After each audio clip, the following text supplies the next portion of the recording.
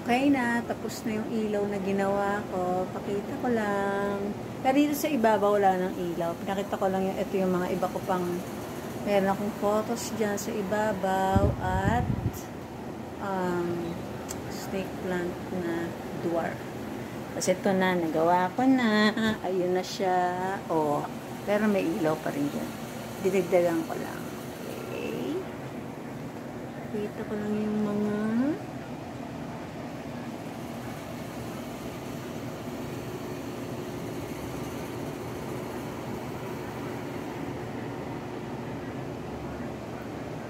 mga aking mga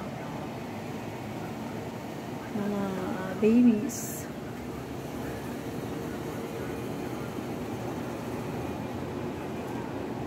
Yan yung rose.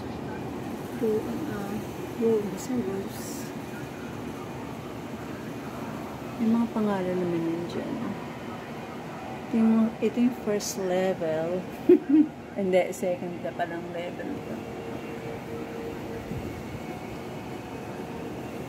Okay, tapos itong next. Ayan na, gawa na rin. Ayun, nadagdagan na. Kaya, masaya na sila.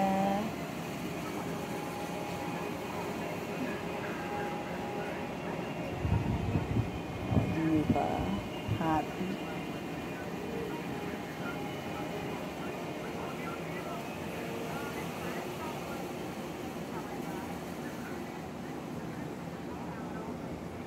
Hmm? May bulaklak. Secret. Ito naman yung sa fort. Ayan, gawa na rin. Nakabit ko na. At ayan naman sila. Masaya. Hmm. Nice, nice, nice. Happy sila kasi meron na silang ilaw-ilaw. Ito, tumatangkad na.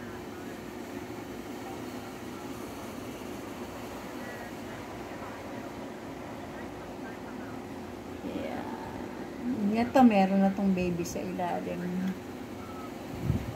Next, itong four, fifth na to. Ito, mag-isa lang siya. Kasi nga, dito, ilalagay ko dito mga hawo lang.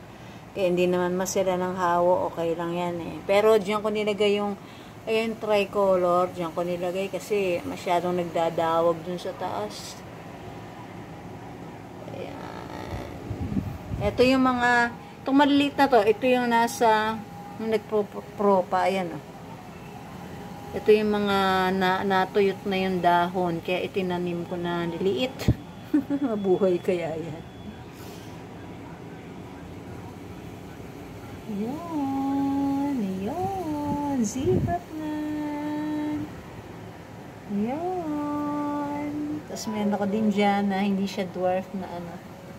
Yan yung mga propa ko. Okay? That's it. Tapos na. Jidideng, jideng. Whoop. Okay. Thank you.